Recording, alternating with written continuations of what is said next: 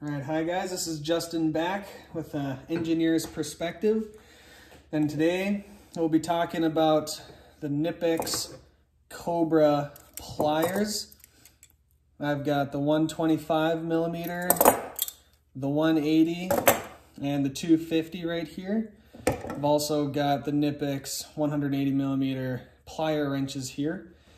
Um, this isn't going to be a full review of these. It's just going to be a little bit of a demonstration of the sizes of things you can work on with them and also just generally how well they work.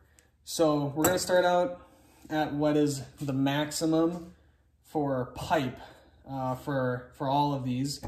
Um, and that, so I've got a two inch ABS fitting here. And let's just start out with a demonstration on the plier wrenches and then we'll go into the Cobras from there. So here is just a cap with a square nut at the top. This is just to show the, the limitations and the usability of these guys.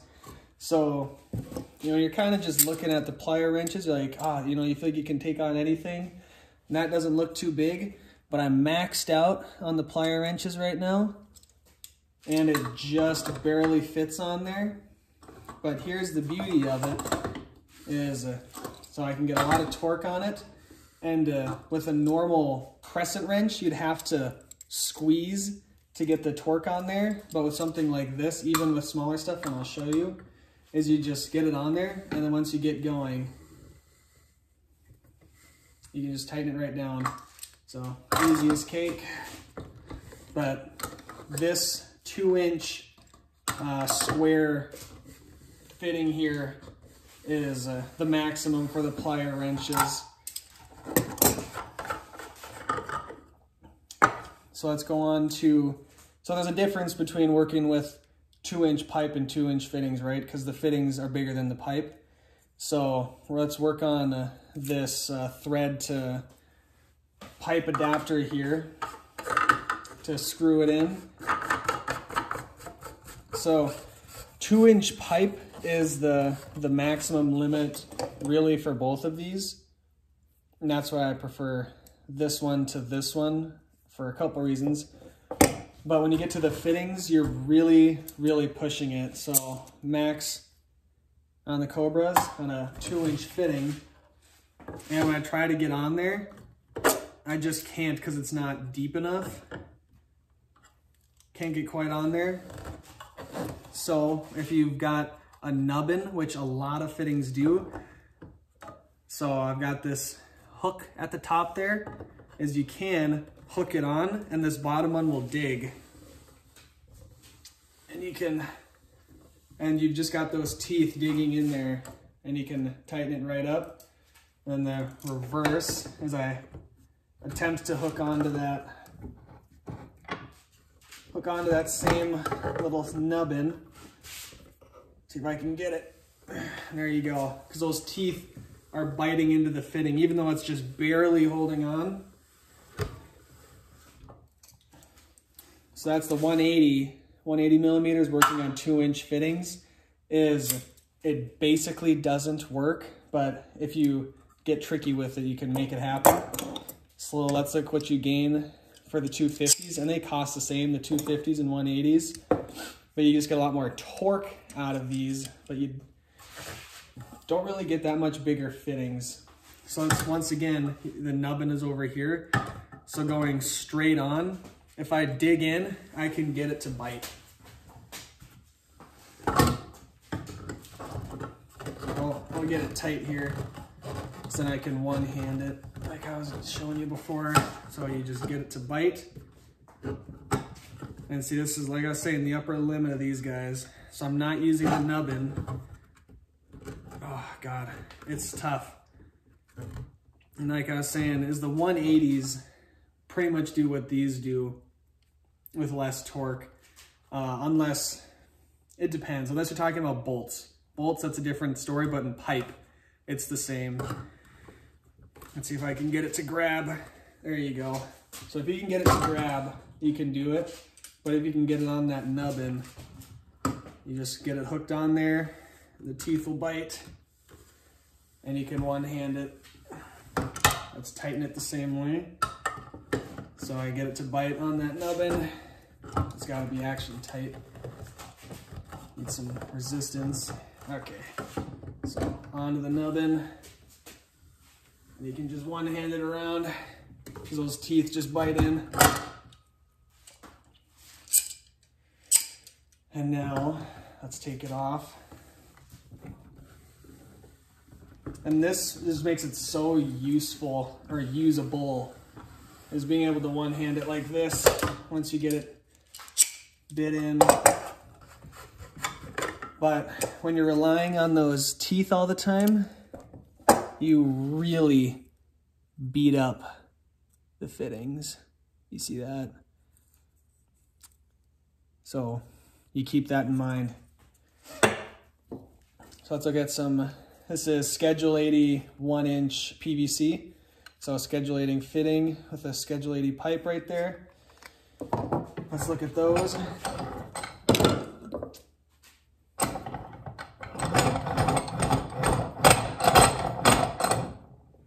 So first we'll look at the pipe.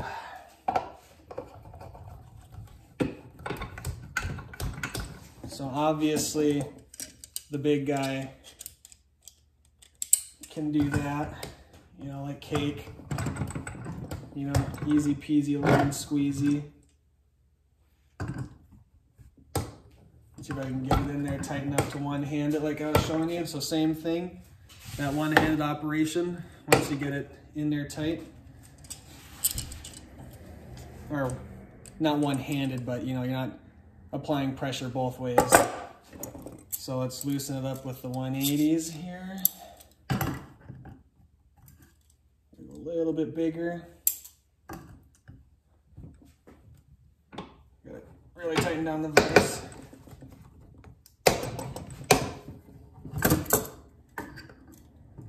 But once again, if you can see I'm just really digging into it, as you can, you can be careful with these but you'll probably muck stuff up more with these than you would a pipe wrench if you're being careful with it. All right, so now the real question is, these, the 125s. Let's see what these babies can do. So grab on. One inch schedule 80.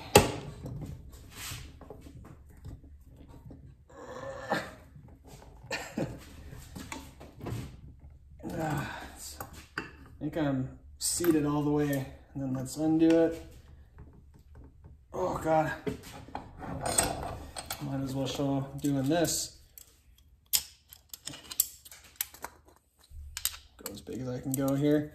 So the a one inch fitting, there I'm grabbed on. Oh, these smokes. Oh, it's on there good. I don't know if I can get that off. No, let's go up to the next biggest size. This is all rehearsed, 100%, no doubt. Not too big. Let's go right there. Holy smokes. How did I get it on there so tight? Well, you might be seeing a limitation here. I'm going to get creative to pop this loose.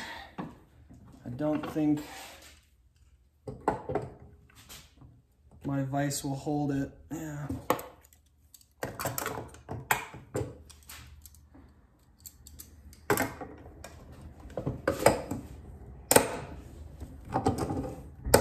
But it certainly makes for a more stable platform when you've got the vise.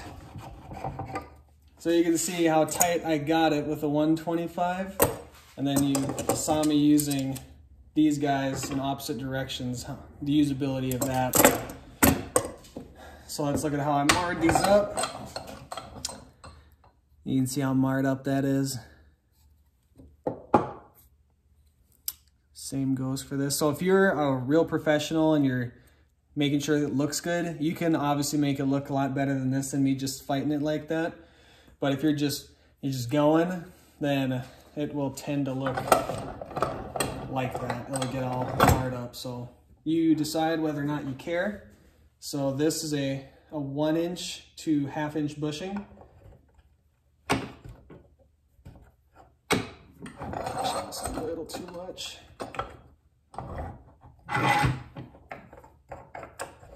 That's one inch NPT.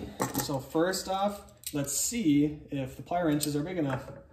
And they're just barely. But once again, you just,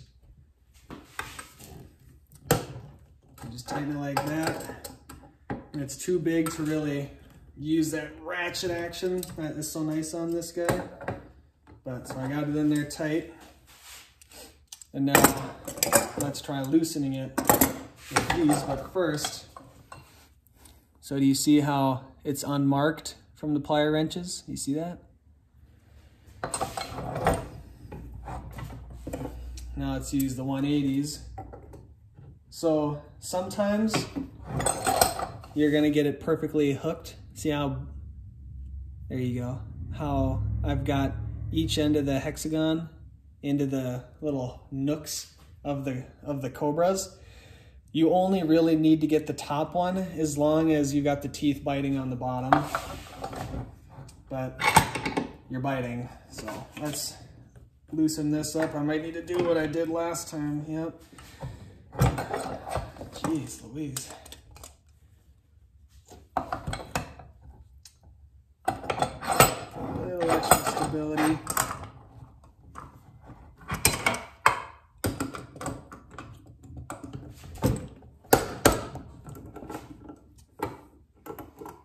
So you can see I can tighten it and loosen it with different tools. So the 180 Cobras will do the same amount of uh, tightening and loosening that the plier wrenches do. It's just harder. And so even with this hooked perfectly on there like that, you can see the marring on it. So for the same amount of force, but in reverse, I get marks with the Cobras. But obviously the plier wrenches can't do a lot with the one inch. You can do some. It'll grip, so like, uh, I can't turn it with my hand. So you can do some with this, but it's gonna leak, so what's the point? So let's you do that. Obviously, this cannot grip that. It's not even in the same ballpark. This can't grip this, but these can. So that's, that was, we did one inch. This is a one inch fitting. Let's do it with the 125s. So you got a one inch fitting. So I'm just able to hook the top. I don't think it's gonna make it. So you see I'm hooking the top and the bottom is gonna try to dig into this part of the hexagon.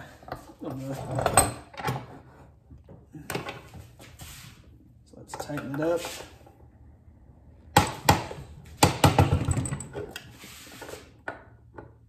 You gotta hold it.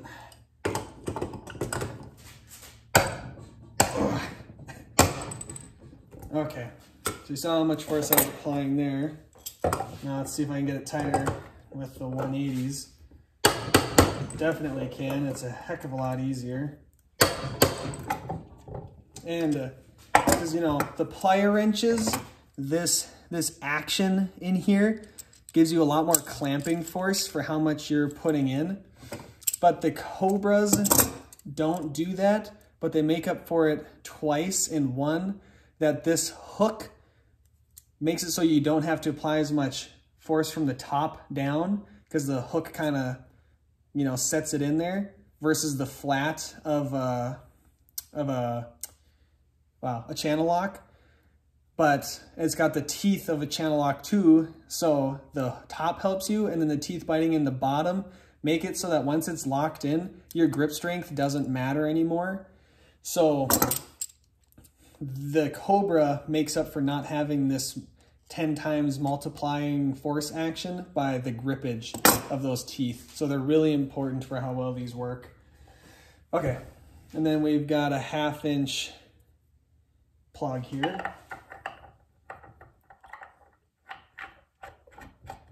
So once again, demonstrate with the plier wrenches. So here you can see this ratchet action of not having to come off all the way. Oops.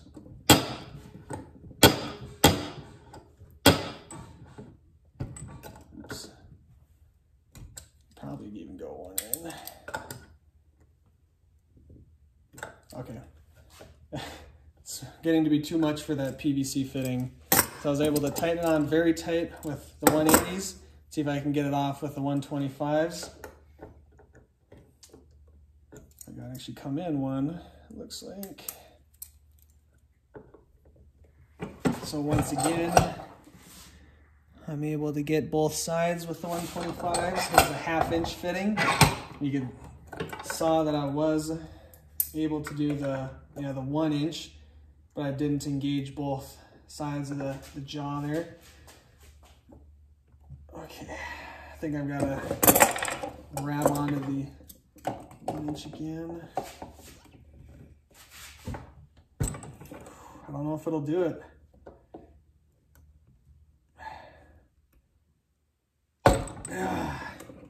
So this is a case where I've tightened it down so much that the, the plastic hex can't support that style of jaw.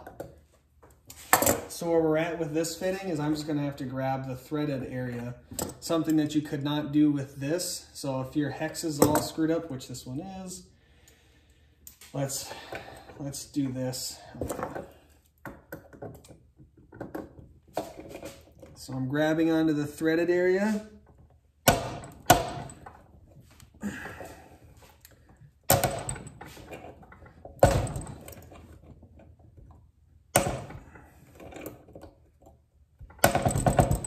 I'm able to break it loose, even though the hex head is totally trashed due to mishandling by me. Oh, this thing is jacked up. But I just want to show you the sticky situations these can get you out of.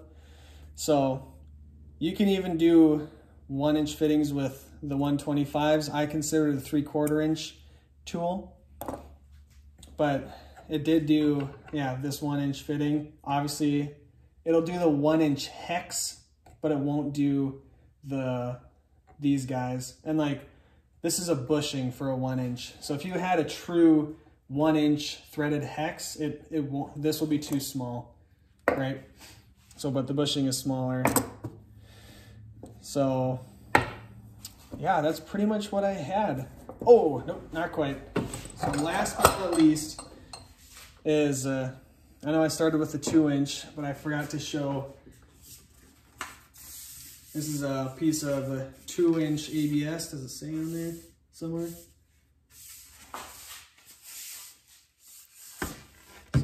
Two inch ABS. What's the wall thickness on this one? Says schedule 40. So if you know that off the top of your head, just look it up. So, see if I hit the camera when I do that. I actually do have a pipe clamp.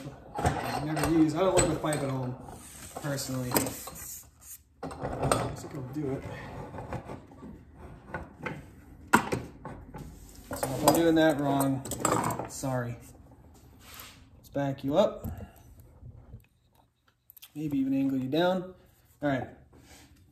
So this is the next thing I wanted to show. Is this is if you're in a pinch. So obviously the 125s, not gonna happen. So here's the 180s. That's as big as they go. So it is possible to dig in. I wish I could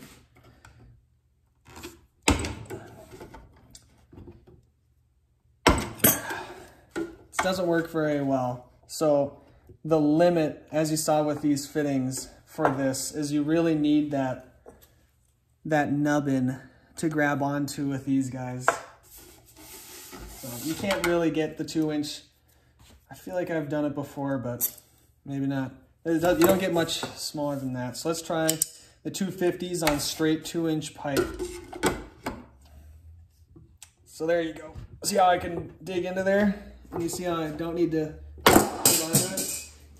Unless I throw my tools. But once you get dug into that, see how it bites in like that? So if you want to do two inch straight pipe, you're gonna need the 250s, but the 180s will get you out of a lot of trouble, especially up to inch and a half for sure with these. But you can you can make these do things for two inch pipe, but you really recommend going up to these. Okay, so that's me using the Cobras up to two inches. You saw it on two inch round fitting. I guess I didn't show it on the two inch square, but I don't, I don't know, is that interesting? Well, maybe it is. You can see how that's like that. What the heck, I got you here. I'm already 21 minutes, what the heck? I didn't think it'd be this long.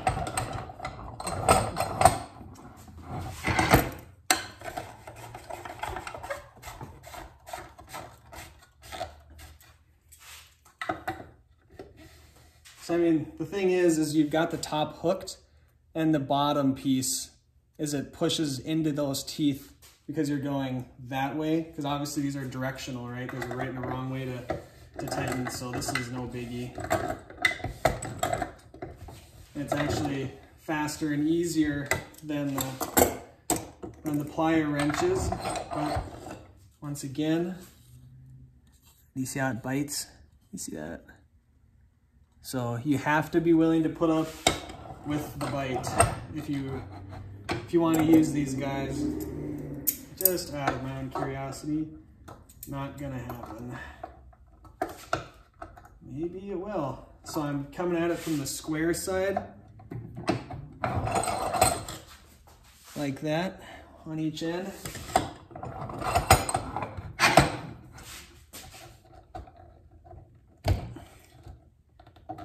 Oh yeah, here it goes. So you never really want to grab things straight up square as I'm just reminding myself here with these guys. So you can see I really took a chunk out of it that time, but I started like that thinking that would work.